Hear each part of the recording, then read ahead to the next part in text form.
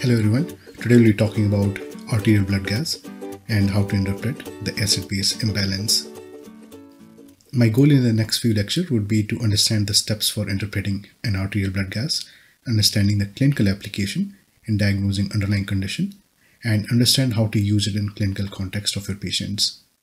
And in the end, we'll go through some basic principle so that you can minimize getting ABG and interpret other data around you to get to the similar conclusions.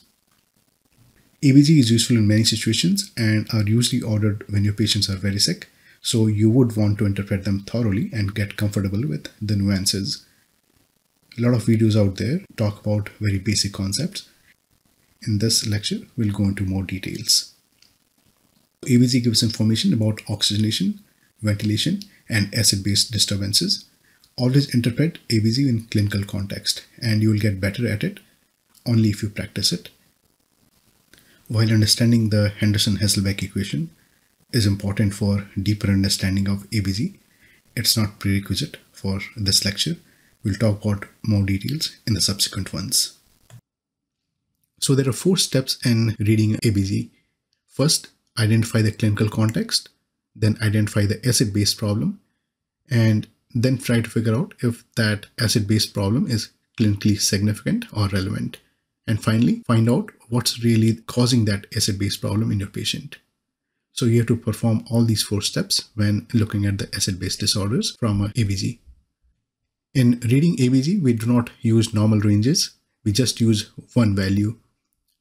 So a normal ABG has pH of 7.4, PaCO2 of 40, bicarb of 24, and an anion gap of 12, and an anion gap can be adjusted for the level of albumin. The five steps to reading any ABG is step one, check your pH and you have to figure out if it is acidemia or alkalemia. Step two, look at your PaCO2, not the bicarb. This step tells you the predominant process, whether it is respiratory or metabolic. Next, check for the degree of compensation and this tells you if the predominant process is being adequately compensated. Then calculate the anion gap and finally calculate the bicarb or delta gap and this will tell you if there are other hidden processes besides an anion gap. And you have to go this in order.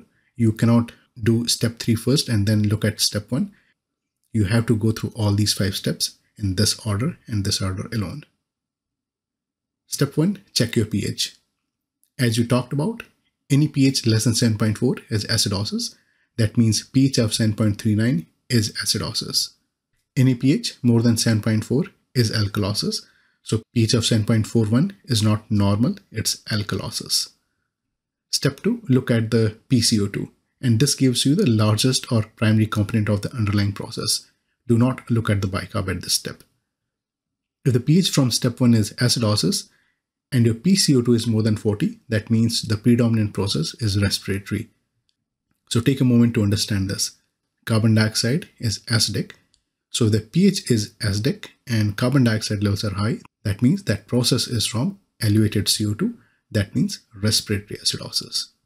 If your PCO2 is less than 40, that means predominant process is metabolic. If your pH is acidic and carbon dioxide is low, that is carbon dioxide is not the reason for acidosis. It is the metabolic reasons that are causing the acidosis. Similarly, if your pH from step 1 is alkalosis, your PaCO2 is less than 40, that means the predominant process is respiratory. And PCO2 is more than 40, that means predominant process is metabolic. Next step, calculate compensation. And there are two ways for compensation, respiratory and metabolic. If primary process is metabolic, body will compensate by respiratory means. And if the primary process is respiratory, the body will compensate with metabolic means. If the primary process is acidosis, the body will compensate by alkalosis and vice versa. You can never overcompensate. That means if you developed acidosis and your body is trying to compensate with alkalosis, the pH will never go above 7.4. And if you developed alkalosis and your body is compensating with acidosis, the pH will never fall below 7.4. So let's look at a few compensation. Most important compensation is the respiratory compensation for metabolic acidosis. So if we have metabolic acidosis, this is going to stimulate the minute ventilation and you are going to lose carbon dioxide. That means you're losing acid and making your blood more alkaline. And this is the famous winter formula that everybody knows about. Your expected PCO2 should be 1.5 times bicarb plus 8 plus minus 2. If you don't remember this formula, understand that in a well-compensated metabolic acidosis, PCO2 should reach the last two digit of the pH. For example, in this case, pH is 7.25, bicarb is 11, PCO2 is 30. So expected PCO2 by Winter's formula is 24. Or if you look at the last two digit of 7.25, it's around 25. So here the measured PCO2 is 30, while your expected is 24. If your lungs were working perfectly, you should have reached the PCO2 of 24. But in this case, you are not reaching 24, you are at 30. So that means you're retaining 6 more carbon dioxide than a normal response. So you are unable to compensate adequately. So there is an additional respiratory acidosis on top of this metabolic acidosis. If your PCO2 was 18 in this circumstance, that means you are blowing out 6 more CO2 than a normal response. So you have additional respiratory alkalosis. So compare the expected PCO2 from the patient's PCO2 to figure out if there is any uncompensated respiratory acidosis or alkalosis. Respiratory compensation for metabolic alkalosis works similarly. If you are alkalotic, you will have decreased minute ventilation, accumulation of CO2, so making your blood a little bit more acidic and trying to compensate for metabolic alkalosis. Elevation of 6 of bicarb increases your PCO2 by about 10. So for example, if your pH was 7.5, bicarb 36 and PCO2 of 52, your bicarb has risen to 36 from 24. That means change of 12 points. And you know that 6 bicarb will increase PCO2 by 10. So 12 should increase it by 20. So your expected PCO2 would be 40 plus 20, that is 60.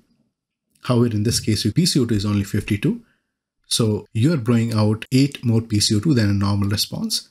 So you have additional respiratory alkalosis on, on top of the primary metabolic alkalosis. Similarly, if your PCO2 was 72, that means you're retaining 12 more CO2 than a normal response. So you have an additional respiratory acidosis on top of the metabolic alkalosis. Important thing to note in compensation for metabolic alkalosis is respiratory compensation is not very accurate, so interpret it with quite a caution. If you have respiratory acidosis, the reaction of carbon dioxide toward the bicarb is shifted towards right, making formation of more bicarb, so increasing your bicarb levels and making it a little bit more alkaline. There is a slight stimulation for kidneys to make more bicarb as well. So in acute condition, 10 millimeter rise of PCO2 will increase your bicarb by 1. So for example, if your PCO2 is 80, acutely your bicarb should be 24 plus 4, that is 28. In chronic condition, most of the bicarb that will be produced by the renal compensation, and here 10 millimeter of PCO2 will increase bicarb by 6. If you have respiratory alkalosis, you will shift this reaction towards the left, so making more CO2 and losing bicarb. It means you are becoming more acidic. It will also inhibit production of bicarb by the kidneys. So acutely, 10 millimeter fall in PCO2 will drop bicarb by 2. So for example, if your PCO2 was 20, your bicarb should be 24 minus 2 times 2, that is 20. In respiratory alkalosis, your kidneys will try to lose as much bicarb as possible. So every 10 millimeter fall in PCO2 will drop your bicarb by 6. Next, calculate the anion gap. Anion gap is sodium minus sum of chloride and bicarb. Normal anion gap is around 12. Do not get the bicarb value from the ABG machine as this is a calculated bicarb. You want to get the bicarb value from the basic chemistry which measures total bicarb. That means real bicarb and dissolved CO2. And you should be using this in your calculations. Always correct for the albumin and we know that the correction factor for albumin is drop in anion gap by 2.5 per 1 gram per dl fall in albumin levels. Remember Goldmark acronym for figuring out where anion gap is coming from and you can review my lecture on anion gap to understand more. Finally, the bicarb or delta gap. So let's try to understand where this comes from. If we add a lactic acid ion to the pool, it is going to break into lactate and hydrogen ion. This hydrogen ion is going to combine with bicarb to form CO2 and water and carbon dioxide is going to be breathed out while the lactic acid is going to remain in the serum and increase your anion gap. So if you add one lactate to the pool, you will use one bicarb and your anion gap will rise by one. So there is one to one to one relationship. That means if you add one milliequivalent of acid, you will use one milliequivalent of bicarb and your anion gap will increase by one. If you have higher amount of lactic acid, say for example 10, you will use 10 bicarb and your anion gap will increase by 10. Normal values of bicarb is 24 and anion gap is 12. If you add one lactic acid to the pool, your anion gap increases to 13 and bicarb falls to 23. If you add 2, anion gap increases to 14 and bicarb falls to 22 and so on and so forth. So let's look at this blood gas where pH is 7.1, bicarb is 9. Your anion gap in this condition is 20 so that means your bicarb level for this level of anion gap should be 16. However, when you look at this, your actual bicarb is 11. One of the things we'll note that we are not using the bicarb from the ABG, we are using the bicarb from the basic chemistry. So this patient lost additional 5 bicarb from some other process, which is not from an anion gap. Since he lost additional bicarb ion, there's another metabolic acidosis going on as well. Since this is not from an anion gap, this is a non-anion gap metabolic acidosis along with the anion gap acidosis that's occurring here. Let's take another example. Here your pH is 7.28 and bicarb is 20. Your anion gap is 23. So for this level of anion gap from 12 to 23, your bicarb should have fallen from 24 to 13. But the actual bicarb is 20. So this patient has gained 7 bicarb from some other process. And since he's gaining bicarb, there's a metabolic alkalosis process going on. So he also has additional metabolic alkalosis on top of anion gap metabolic acidosis. So let's look at few examples.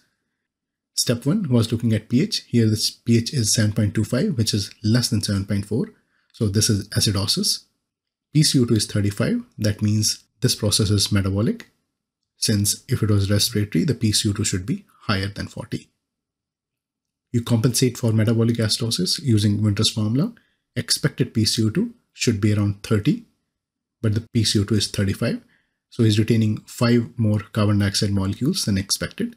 So he also has a respiratory acidosis going on. His anion gap is 18, so he has an anion gap metabolic acidosis. And then we calculate your bicarb gap or delta gap, at the anion gap of 18, your bicarb should be 18 as well, but this patient measured bicarb is only 15. So he lost another 3 bicarb somewhere else. Since losing bicarb is acidosis, he also has a non-anion gap metabolic acidosis. So this patient has anion gap metabolic acidosis, non-anion gap metabolic acidosis, and respiratory acidosis. Let's look at another ABG, and it's a tricky one. Your pH is 7.4, bicarb is 24, and PCO2 is 40. So like all the ABGs, you got to do all five steps every time to get this thing right. So pH is 7.4, which is neutral. PCO2 is 40, that's normal. There's no compensation because the pH is normal. Your anion gap, however, is 20, so this patient has an anion gap metabolic acidosis. And for the anion gap of 20, his bicarb should be 16.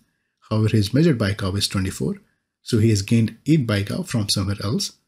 So he also has a hidden metabolic alkalosis. So this patient, even the ABG looks pretty normal, he has anion gap metabolic acidosis and metabolic alkalosis. And in this patient, this metabolic acidosis and alkalosis have balanced really well to give almost a normal looking ABG.